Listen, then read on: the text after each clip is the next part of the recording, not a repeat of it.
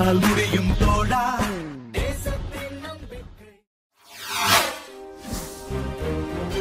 திருவாரூரில் கனமழை.